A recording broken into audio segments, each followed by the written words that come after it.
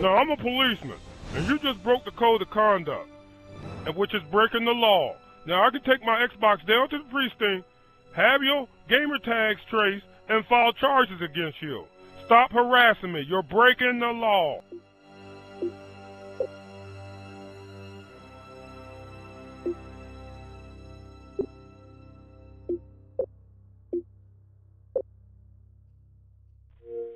Policeman. You're breaking the code of conduct, which is also breaking the law. Now, I can take my Xbox down to the precinct, have your gamer tags traced, and file charges against you because you're harassing me and breaking the code of conduct.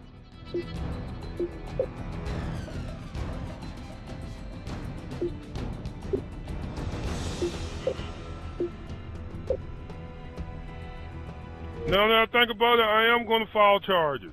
People like you need to be kicked offline harassing people over a video game. My son plays these games. And with you all, that's one less person you have to worry about that's like harassing people.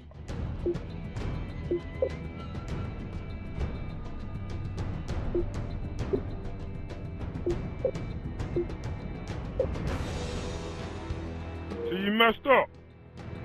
You need evidence to file charges against people when they break the code of conduct. And you gave me the evidence when you sent me these messages. Thank you.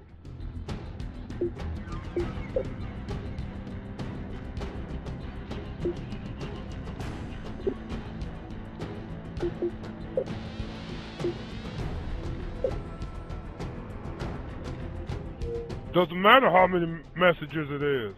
You're still harassing me. You're still breaking the code of conduct. And it's against the law. You're breaking the law. Read it. So I'll get the last laugh.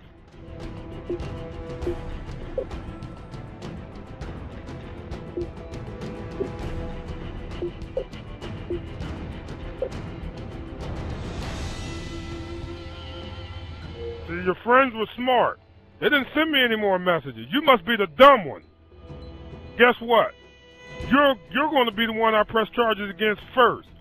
Thank you. Laugh at that.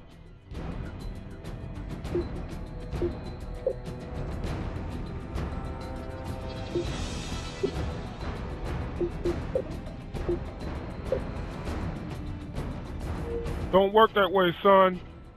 You sent the message to me first. That's how it works. I replied. And I told you to stop harassing me. And one of the messages, and then you sent me another one. You brought this on yourself.